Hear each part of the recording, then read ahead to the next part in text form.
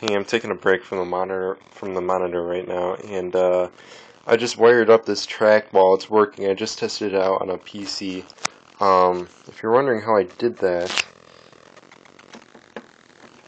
let me just explain the basics of mice.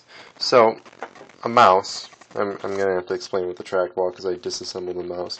But when you uh, when you have a mouse, it comes with these rollers. Um, don't have any around. Oh, there's one right here.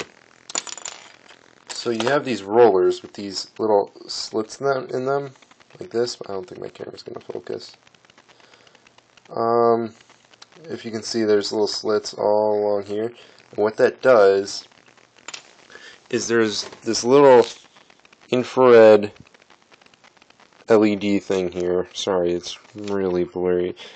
And what this does is it fits in there and it's kind of like Morse code in a way.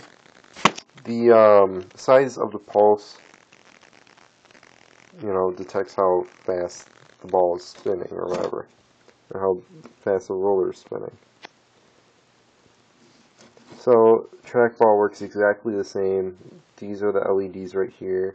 This is the roller, the encoder as they call it. So yeah, really simple. And like I said, a ball mouse works exactly the same. So that's all I did is I took this trackball and I hooked it up to a ball mouse. This is the shell right here. And it's a PS2 mouse.